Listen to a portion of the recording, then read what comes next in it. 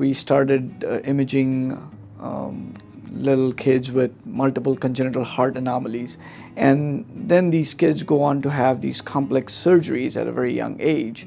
Uh, and we thought that if it is possible uh, to create a model uh, that would help the surgeons uh, before they went into surgery and maybe make things easier for them. Uh, this 3D printing initiative has been a collaboration uh, between the divisions of pediatric cardiology, the Department of Radiology, and the Parks College of Engineering Tinker Laboratory.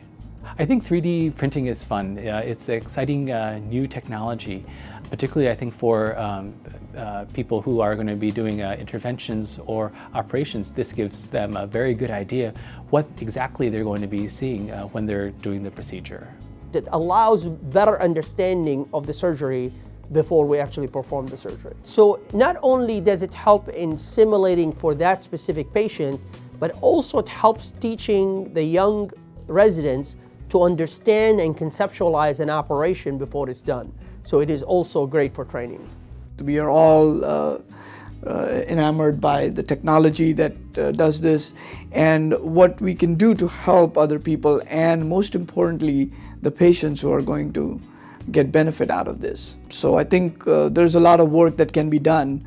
Uh, we're looking for a bright future for 3D printing.